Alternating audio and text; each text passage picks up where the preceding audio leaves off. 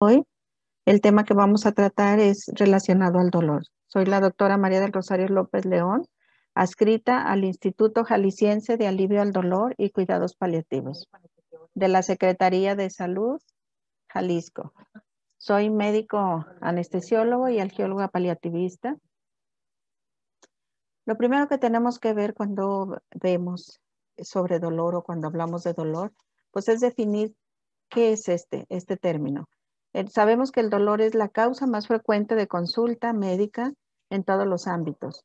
La Asociación Internacional para el Estudio del Dolor, la IAS, desde 1974 definió el dolor como una experiencia sensorial y emocional desagradable asociada con una lesión ística real o potencial o descrita en términos de dicho daño.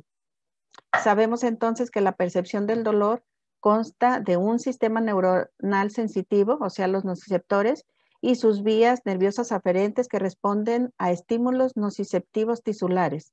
La nocicepción puede estar influida por otros factores psicológicos como el sufrimiento, la ansiedad, la depresión y la desesperación también. De ahí que entonces sea una experiencia este, emocional. Algo muy importante, primero tenemos que ver lo que Sanders nos decía, tenemos un dolor total. El dolor total está constituido por un dolor físico, un dolor psicológico, un dolor familiar, un dolor espiritual y un dolor social también. Todos estos componen un dolor total. Para nosotros es muy importante determinar lo que es el dolor total porque sabemos que son el, ser humano es un ente biopsicosocial y espiritual.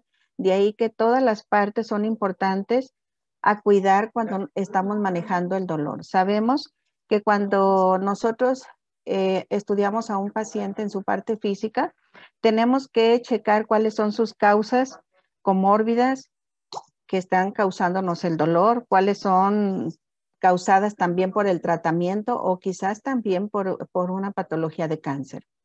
En el aspecto psicosocial es muy, eh, es muy psicológico, perdón, es muy importante checar si el paciente tiene miedo al sufrimiento, si está deprimido, si es una experiencia o ha tenido una experiencia pasada ah, de una enfermedad dolorosa.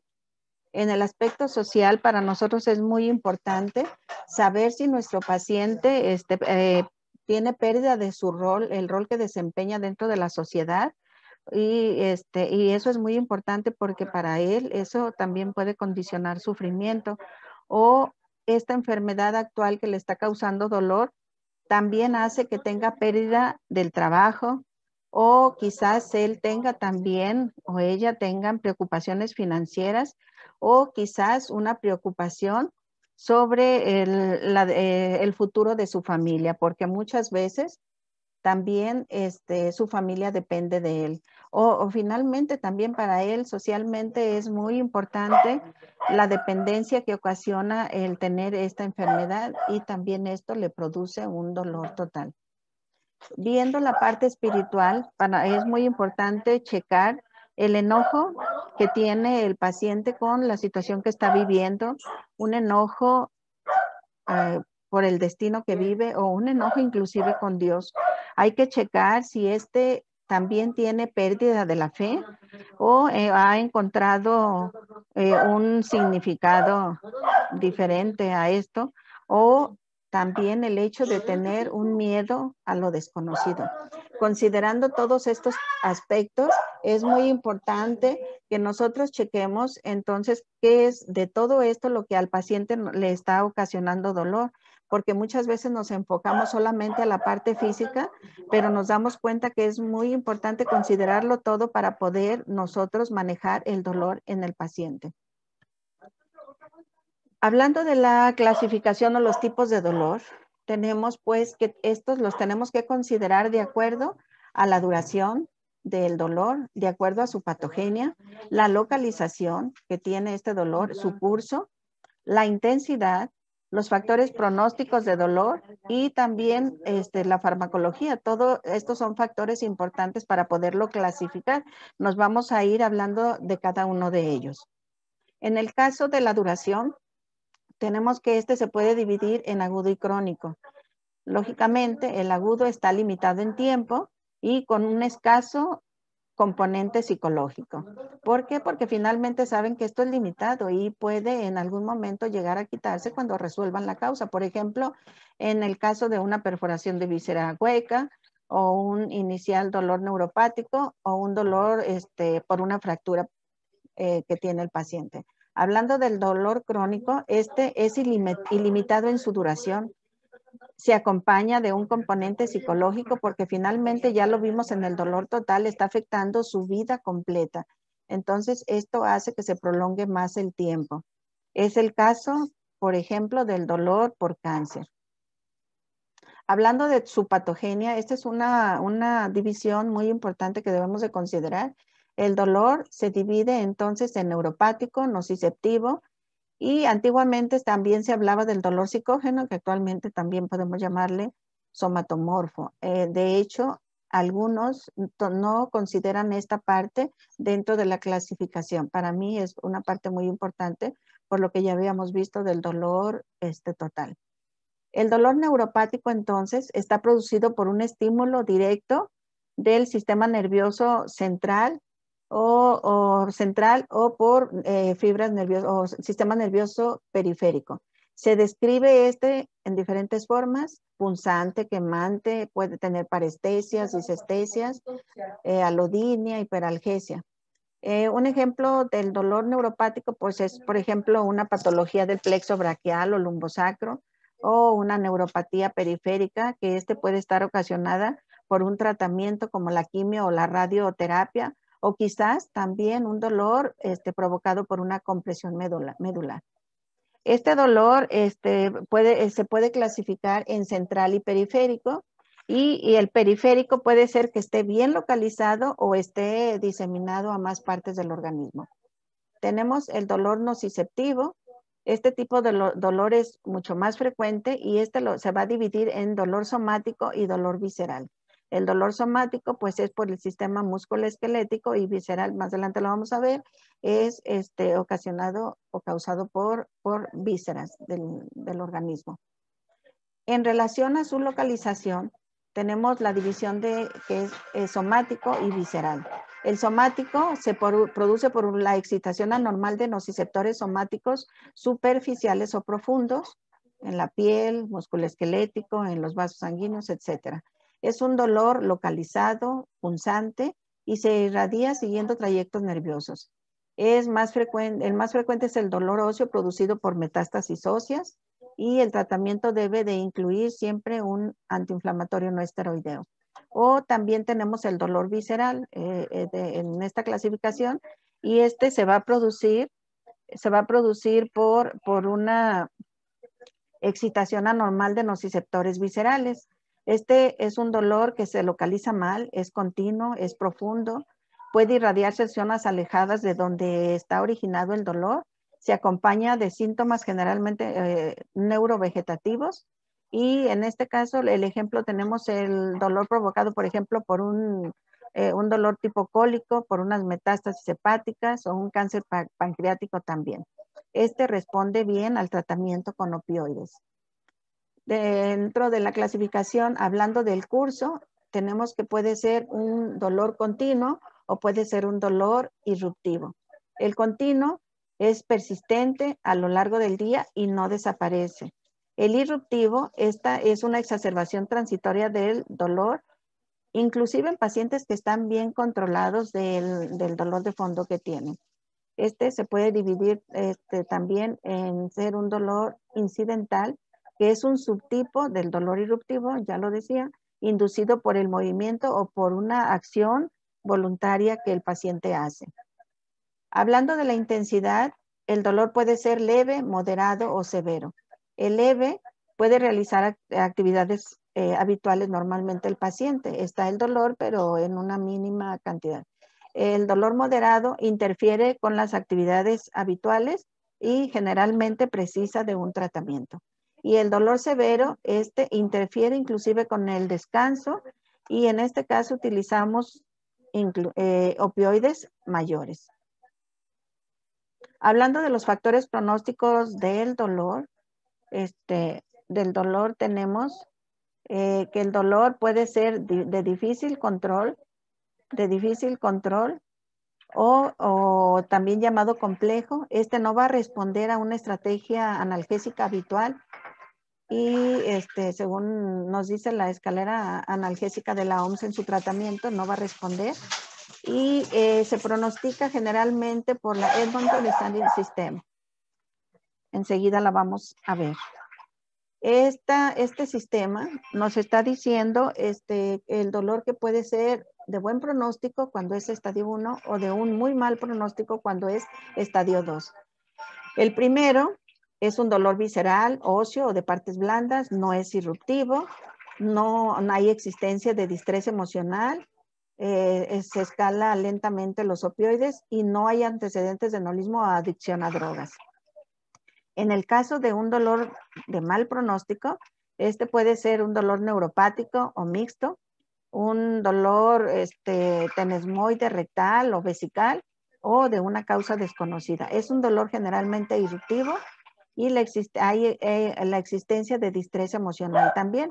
Hay un incremento rápido en la dosis de opioides cuando estos están usando y generalmente en este ah, eh, eh, hay antecedentes de nolismo o de adicción a drogas.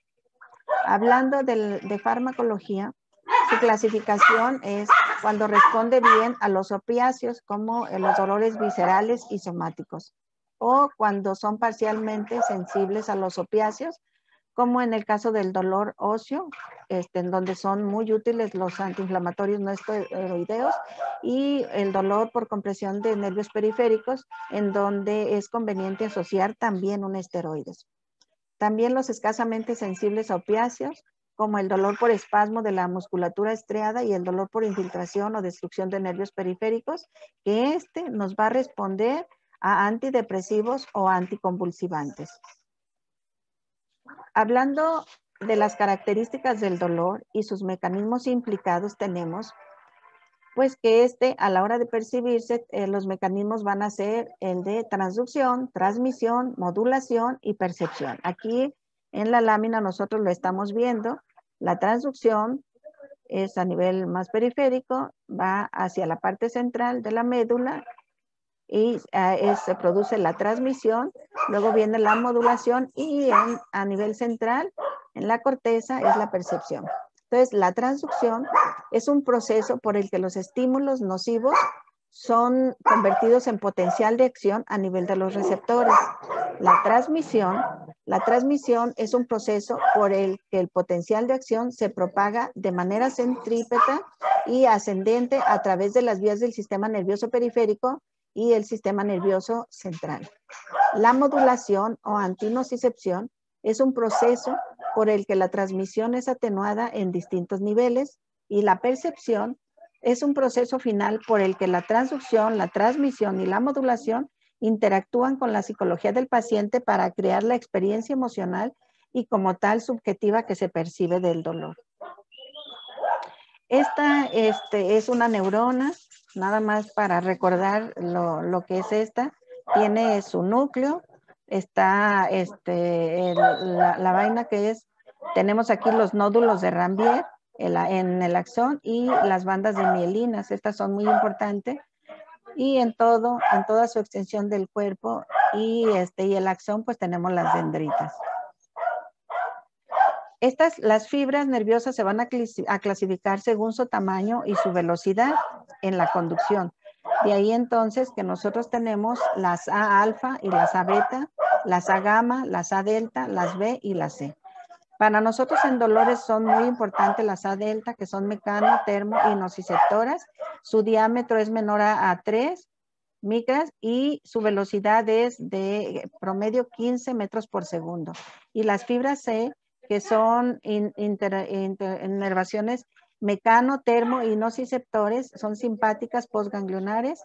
Su diámetro es de una micra y su velocidad es de un metro por, por segundo, son más lentas. Entonces, hablando ya de cada uno de estos mecanismos, tenemos la transducción. El receptor del dolor llamado nociceptor, dice, no viene a ser sino la terminación periférica de una neurona bipolar cuyo cuerpo neuronal se encuentra en el ganglio raquídeo de la raíz dorsal. El nociceptor se va a clasificar de, acuerdo al tipo de fibra que lo constituye, entonces distinguiéndose los receptores A delta y C. Las fibras A delta son mielinizadas, como ya vimos eh, en, lo que les mostré de la neurona, el dibujito, y las fibras C que son no mielinizadas y que su conducción vimos inclusive que es mucho más lenta. Estos tipos de nociceptores los vamos a encontrar a nivel de la piel, eh, tejidos somáticos profundos. En cambio, a nivel visceral predominan los receptores de tipo C. La célula, al, perdón, a la hora de percibir entonces un, estímulo doloroso, se van a liberar muchas sustancias que es como un caldo que finalmente esto va a hacer que se transmita el impulso nervioso hacia el ganglio dorsal y de ahí se pase a la médula espinal. En este último nivel de tipo de estímulo que se despolariza el receptor varía de acuerdo al órgano en el que se encuentra. Por ejemplo, en el corazón vamos a tener un estímulo químico, en los pulmones hay vasoconstricción y congestión y edema. En las vías respiratorias es un estímulo mecánico y químico. En las vías biliares hay distensión, contracción e hipertensión. Y en el tracto genitourinario, la tracción, la distensión y la irritación, que estos son los que van a estimular al, sistema nervioso. Entonces tenemos que la activación y la modificación en la sensibilidad. Esta se desencadena entonces el potencial de acción, modificando la sensibilidad hacia mediadores químicos cuando hay mayor sensibilidad, un upregulation, eh, se liberan prostaglandinas, bradicidinas y histamina. Y una menor sensibilidad, la down regulation, el óxido nítrico. Hablando entonces de la transmisión, las fibras nerviosas van a ingresar a la médula espinal por el surco posterolateral y se introducen en las láminas del asta posterior de la médula espinal AME. Aquí es como lo tenemos. Siguiendo criterios citoarquitectónicos, se pueden dividir la sustancia gris de la médula espinal en una serie de capas o láminas, o sea, las láminas de Rexel, que corresponden a, la lámina 1, de la 1 a la 6, de, del asta posterior de la médula espinal. De ahí eh, existen las vías ascendentes, que estas están formadas, estas son las que suben hacia la corteza por el tracto espinotalámico, el espino reticular, el espino mesencefálico y el as espinotalámico, que es la vía más importante en el, en el humano con un 90%.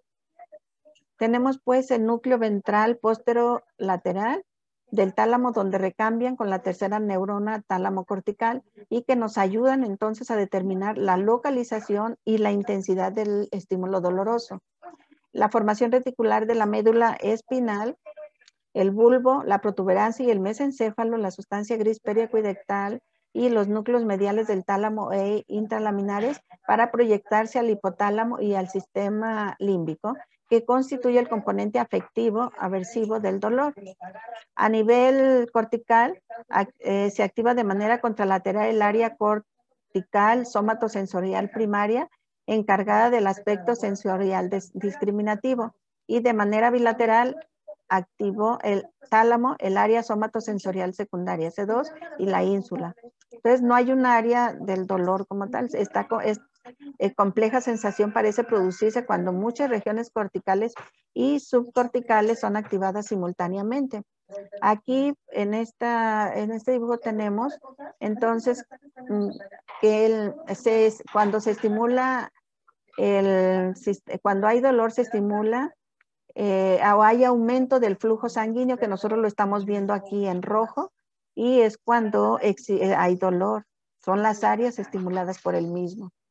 Hablando de la modulación entonces, la analgesia no es solo la cesación de la transmisión nociceptiva, es una función coordinada y altamente compleja que regula, controla y limita la transmisión nociceptiva para prevenir el caos y la inestabilidad que puede producirse si solo existieran mecanismos excitatorios.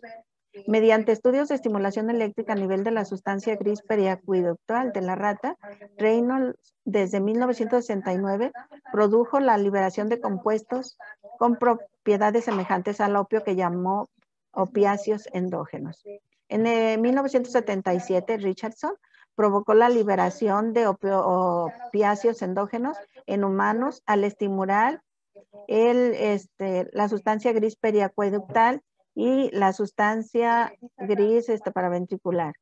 El tipo de analgesia conseguida es de gran precisión y especificidad, ya que no altera otras formas de comportamiento, no reduce la actividad o la atención de la persona.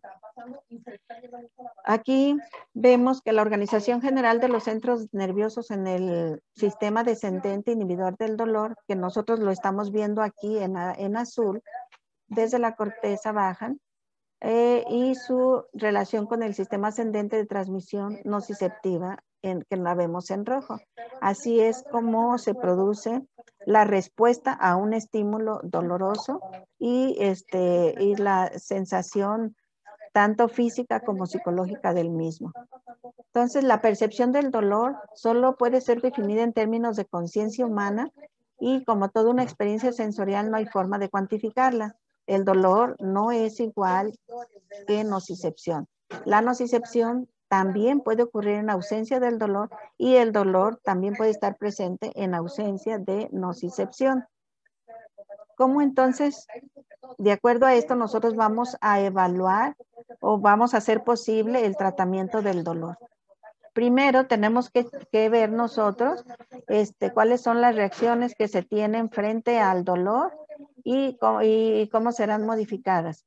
Estas pueden ser modificadas primero por el estado emocional del paciente, por las experiencias pasadas y memoria del dolor. No es lo mismo que un paciente haya tenido dolores que no han sido tan molestos en su vida y que a la hora de presentar otros, como él ya había percibido algún, en algún momento dolor, su interpretación o su manifestación o la respuesta que se tenga a este dolor quizás influya para no sentirlo a tal intensidad o, o viceversa.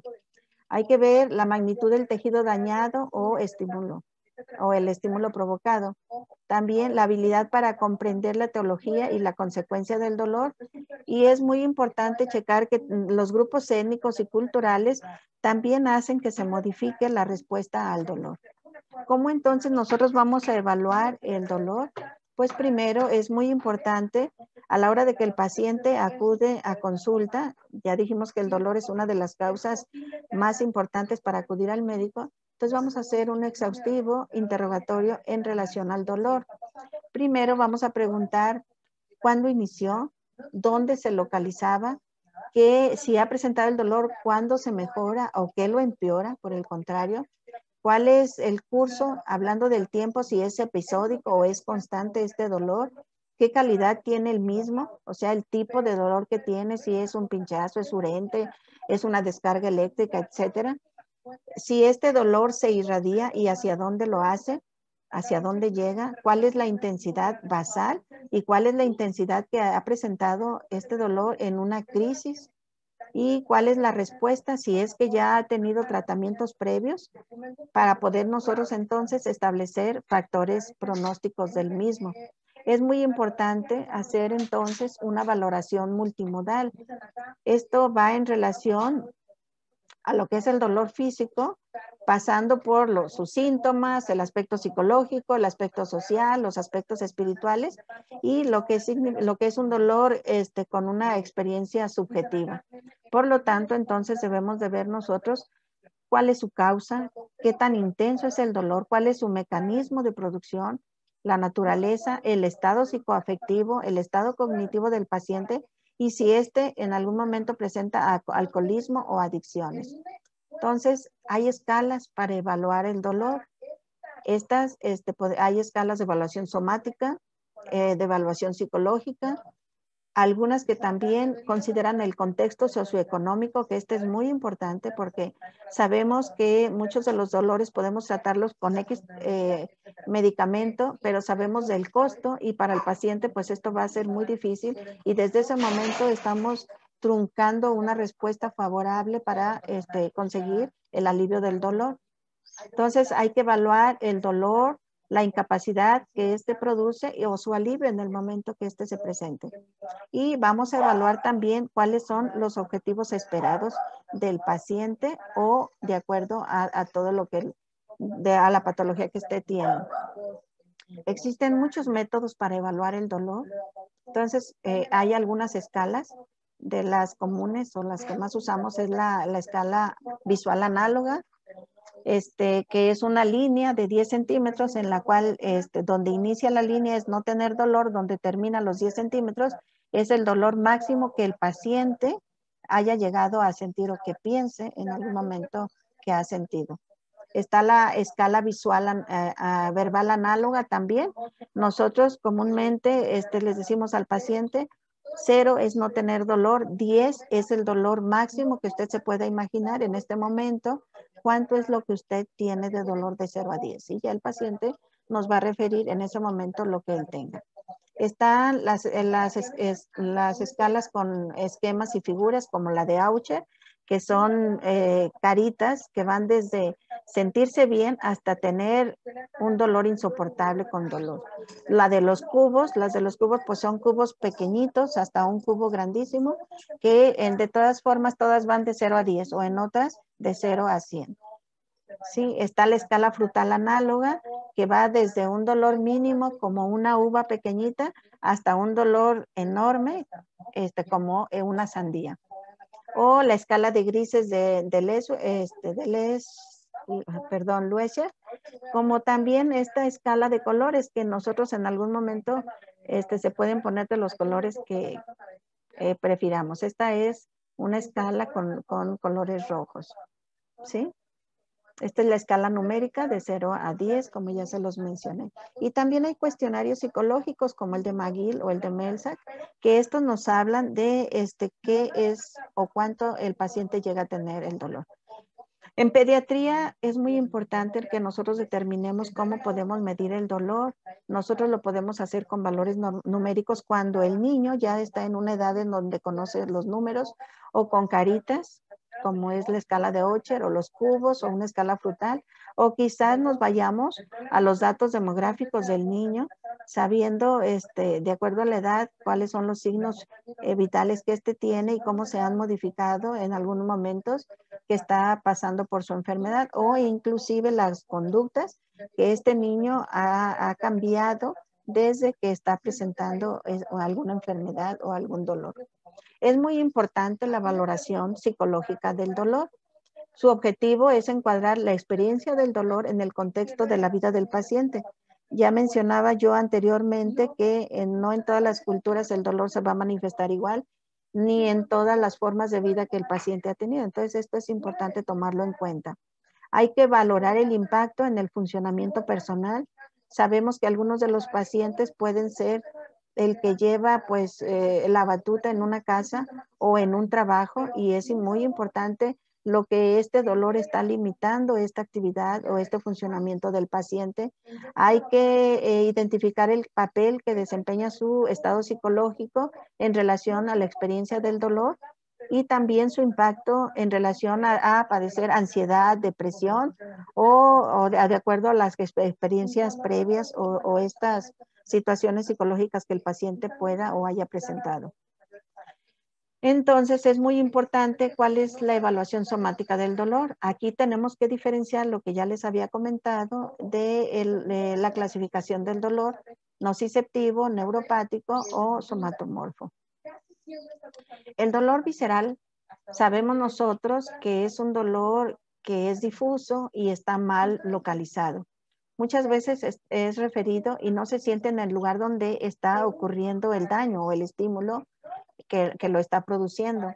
Este está asociado con importantes respuestas emocionales y del sistema nervioso autónomo y está producido por estímulos diferentes de los que provocan la activación de los nociceptores somáticos. Los estímulos para la producción del dolor visceral son la distensión de los órganos cavitarios, la atracción del mesenterio, la isquemia y un estímulo químico endógeno también. Entonces hay que considerar estos puntos en, el dolor visceral y en dónde está localizado, pues de acuerdo al sistema nervioso autónomo, como ya lo había comentado. El dolor neuropático. El dolor neuropático es de los más complicados para manejarse. Desde 1994 la IAS definió que es un dolor iniciado o causado por una lesión primaria o una disfunción del sistema nervioso en general. En el 2011, este habló de una lesión o enfermedad del sistema nervioso somatosensorial. Es una omisión de disfunción, es un dolor nociceptivo que puede causar lesiones secundarias en el sistema nervioso somatosensorial. Hablando de la taxonomía del dolor neuropático, es muy importante eh, considerar eh, estos términos para nosotros poder identificar o poder este, saber cómo, cómo podemos en su momento tratar este tipo de dolor. Entonces, definiendo el dolor, sabemos que el dolor neuropático está iniciado, causado, ya dijimos, por una lesión primaria o una disfunción del sistema nervioso cuando nosotros hablamos de alodinia, es un dolor o estímulo que normalmente no es doloroso. Por ejemplo, en alguna área de la piel del paciente nosotros podemos soplar o dar un poco de aire. Normalmente esta es una sensación no dolorosa y sin embargo sí le produce dolor. Eso es alodinia. Eh, la hiperalgesia es una respuesta aumentada a un estímulo que normalmente ya era dolorosa, pero que ahora es extremadamente este, eh, dolorosa. La hiperestesia es una sensibilidad aumentada a la estimulación. La disestesia es una sensación anormal desagradable que ella puede ser espontánea o evocada. La hiperpatía es un síndrome doloroso caracterizado por una reacción dolorosa anormal a estímulos, especialmente a estímulos repetitivos. La parestesia es una sensación anormal, ya sea espontánea o evocada, que no tiene por qué ser desagradable, la neuralgia es un dolor en la distribución de un nervio o nervios. La neuritis es inflamación de un nervio y la neuropatía es un trastorno en la función o cambio patológico en el nervio. Puede haber una mononeuropatía refiriéndose a un solo nervio o una polineuropatía a varios de los, de los nervios.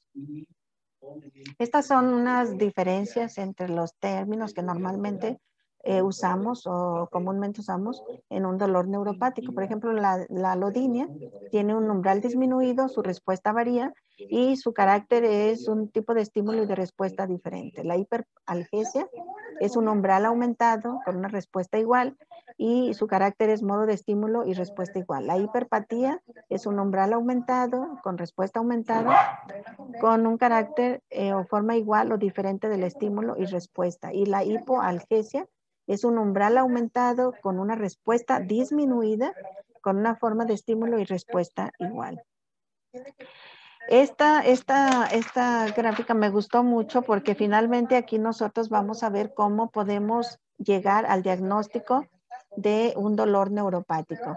Vemos inicialmente este, cuál es la queja principal. Al ver la queja principal que es dolor, vamos a checar su historia. En dentro de esta historia nosotros tenemos que checar los antecedentes de la enfermedad o, la lesión neurológica relevante.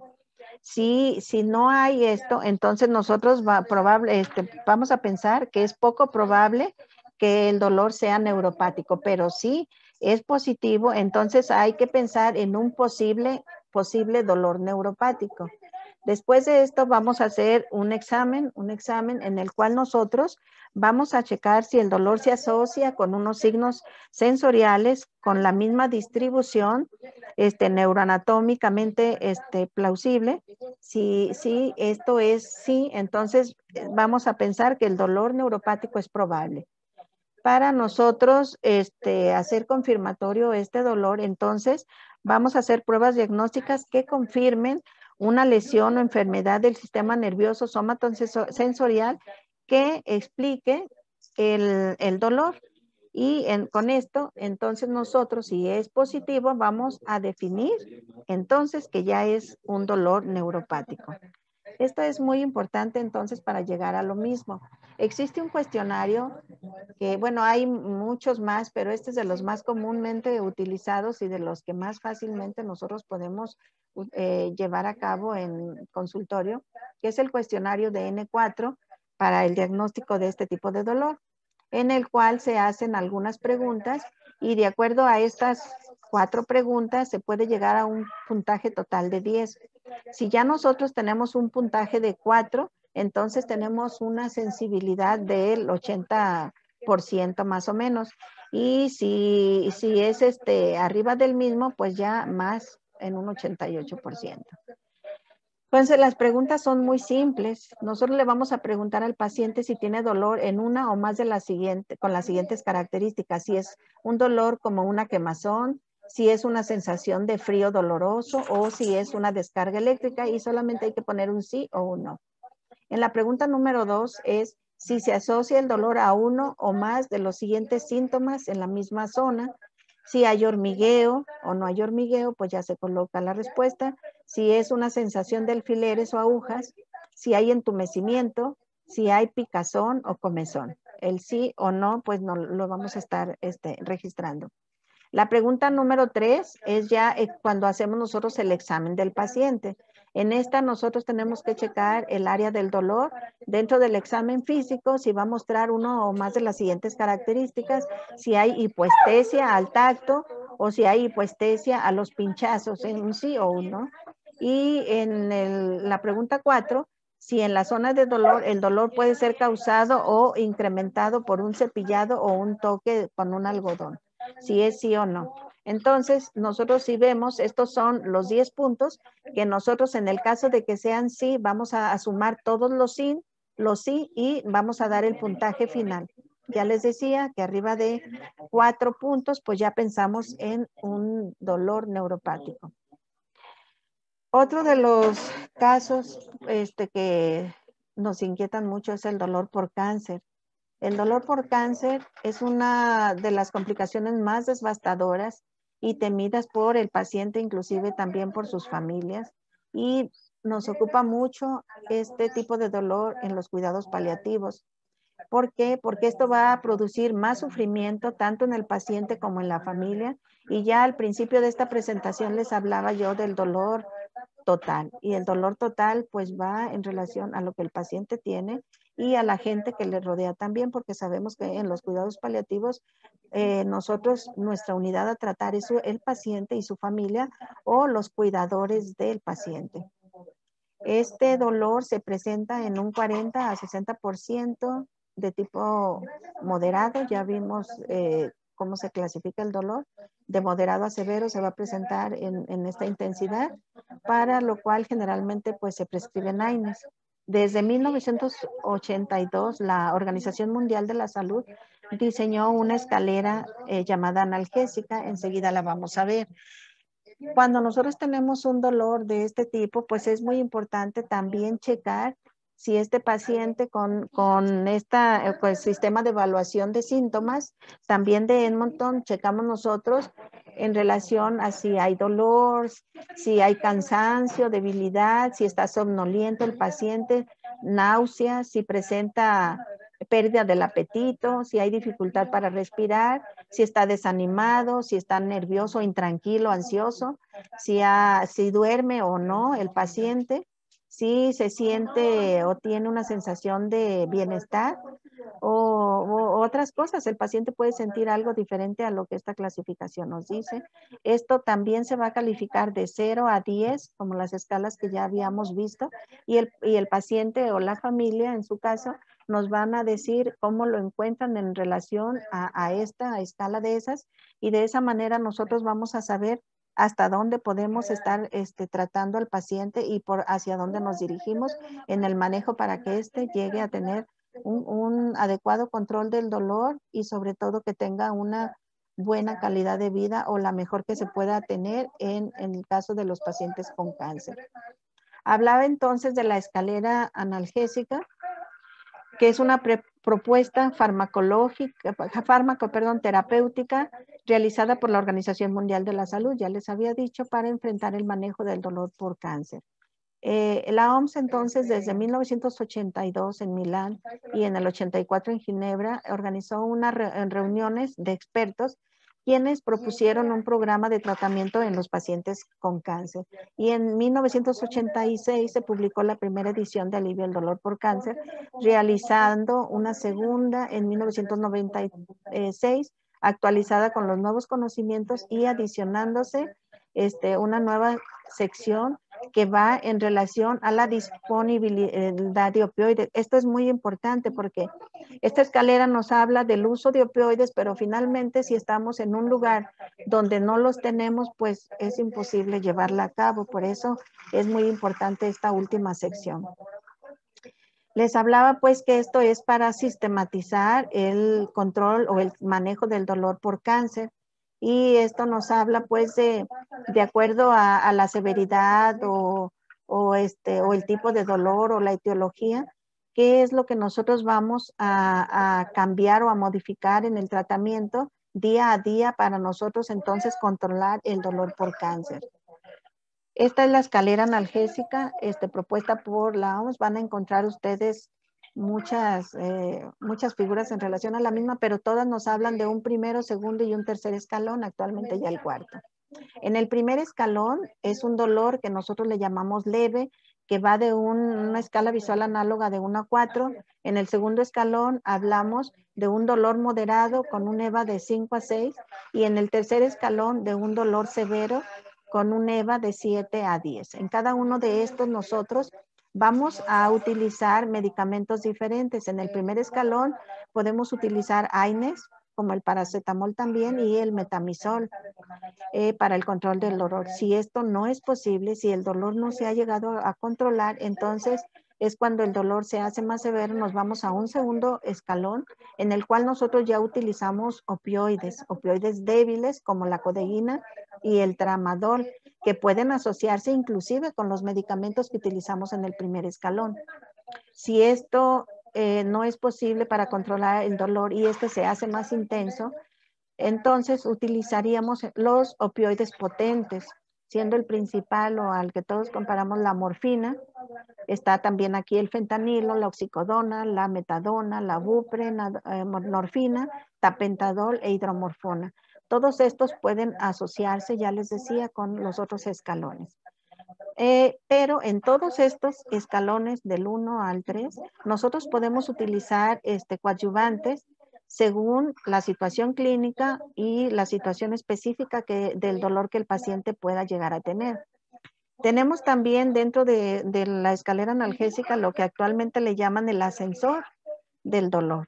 En lugar de la escalera, un ascensor en el cual cuando ya nosotros eh, checamos al paciente, le hicimos un buen interrogatorio, una buena exploración y nos damos cuenta que este paciente con dolor este, ya ha tomado inclusive medicamentos, entonces no vamos a empezar si nosotros lo estamos tratando con el escalón número uno. Si el paciente ya tiene un dolor más severo, inclusive ya ah, le han tratado con otros medicamentos, entonces ya nos vamos nosotros a utilizar el, eh, o nos vamos directamente a un tercer escalón o a un cuarto para utilizar inclusive otras vías en el manejo del dolor como vamos a ver más adelante. ¿Qué es lo que nosotros debemos considerar en el manejo del dolor? Yo, en el manejo del dolor, primero tenemos que checar si el dolor está relacionado al cáncer. Si es un dolor crónico relacionado al cáncer, como ya les decía, si es un dolor no relacionado al cáncer o es un dolor crónico no maligno eh, que, y que el paciente aparte tiene tolerancia a opioides o es un dolor al final de la vida, que puede presentar cualquiera de estas situaciones, pero es al final de la vida, es importante saber todo esto. Nosotros, de acuerdo al método, la filosofía pues se va a enfocar en, cinco frases. Primero, si vamos a dar un tratamiento por, por boca, eso es la vía oral, tenemos que hacerlo eh, con una dosis considerando el reloj. Eso es determinar el horario. Podemos darlo cada día, o sea, cada 24 horas o cada 12 o cada 8, cada 4. Va a depender de la necesidad que el paciente tiene.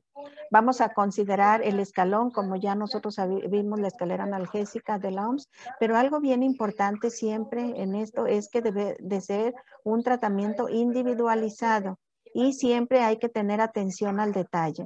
Para eso es que les hablaba yo del este dolor total, porque hay que checar, recordemos que el paciente es una persona este, que tiene varias dimensiones, es bio, social y espiritual. Considerando todo esto, checando el detalle, hay que ver qué es lo más adecuado para nosotros eh, llevar al paciente a un control del dolor y a una mejor calidad de vida.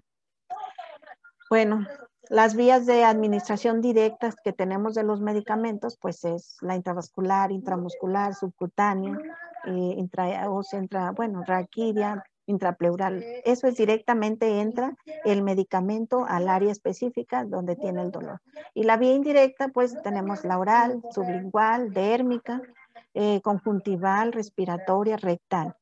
Esto lo consideré importante, todos las conocemos, pero bueno, tenemos esa diferenciación entre directa e indirecta.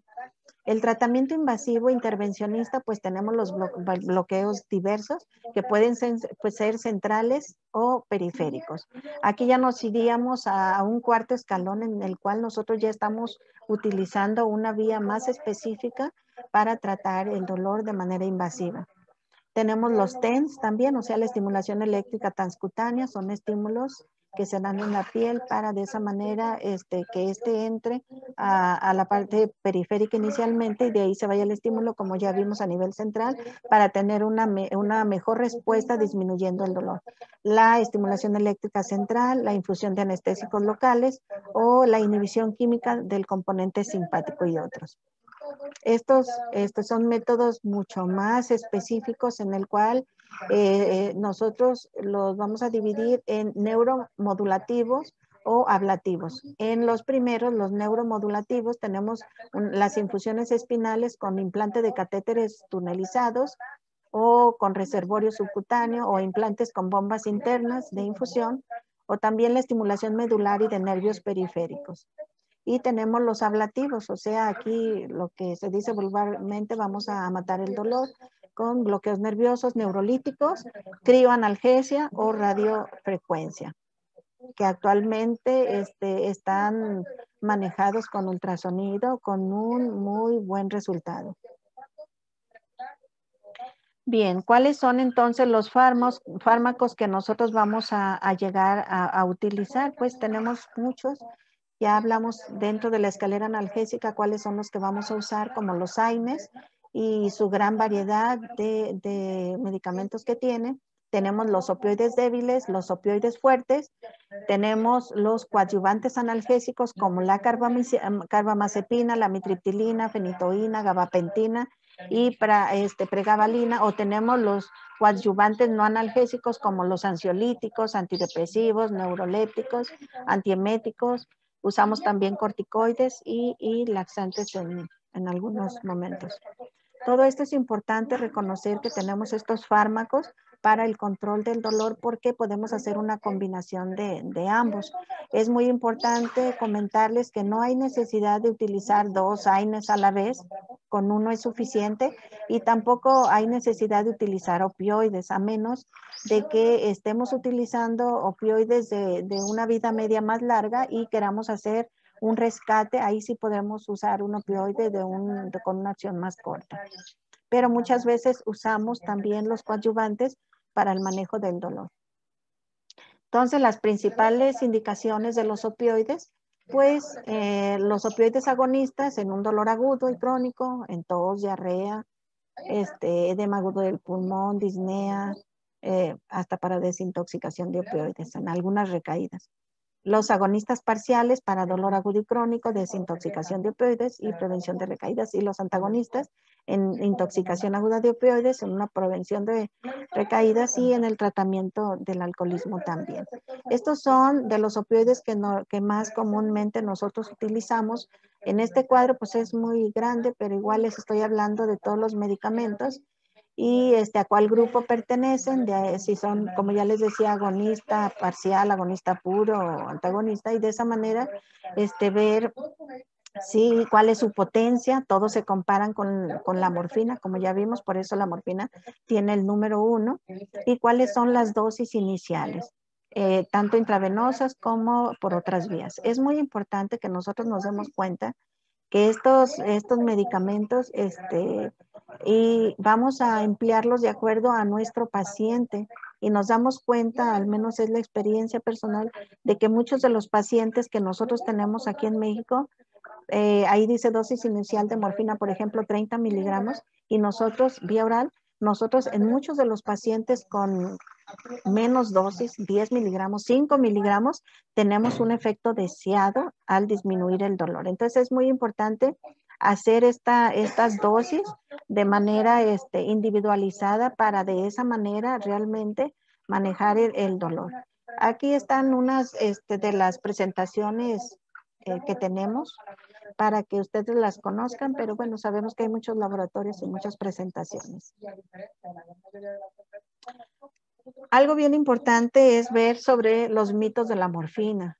Sabemos que muchos de los pacientes, de las, perdón, los médicos no nos atrevemos a utilizar la morfina y muchos de los familiares de los pacientes y los mismos pacientes no los quieren porque dicen que, que es peligroso, que causa depresión respiratoria, que la vía oral es inefectiva. Son mitos de la morfina que a lo mejor me va a producir acostumbramiento, euforia, que rápidamente voy a, crear tolerancia o que el paciente ya se está muriendo, por eso le estamos dando ya la morfina, o que a lo mejor en la casa tengo a alguien y que se la van a robar, o no sé, que a lo mejor el paciente lo usa con otros, con otras, otra idea como los intentos de suicidio o para suicidarse definitivamente. Entonces, esto es bien importante que nosotros eh, lo consideremos para un manejo del, dolor por opioides, porque cada uno de los opioides tiene su manejo específico y sabemos cómo iniciar a darlos y cómo en su momento retirarlos y ningún paciente nos va a producir este, una tolerancia, digo, perdón, una, un, acostumbramiento este, o una dependencia a, a estos. Es bien importante checar esa parte. También tenemos el tratamiento no farmacológico del dolor, que es muy importante tomarlo en cuenta porque muchos de los pacientes inclusive nos llegan ya comentando que ya han ido a otras terapias y nosotros como médicos tenemos la obligación de conocerlas. Entonces tenemos, por ejemplo, la biorretroalimentación, la acupuntura, la hipnosis, el masaje como la mioterapia, masoterapia, hipnosis, la imaginación guiada, la medicación, meditación, perdón, y la relajación la fisioterapia o actividad física y la terapia de la conducta. Todo esto es un tratamiento, como no es farmacológico, lo vemos que muchos de nuestros compañeros, este, eh, colegas psicólogos utilizan para el manejo del dolor y créanme que han sido muy útiles para disminuir las dosis de los fármacos que nosotros estamos utilizando en dolor. Entonces, cuando se da una, una terapia multimodal, los resultados van a ser mucho mejores. Entonces, hay que conocerlos para, para manejarlos.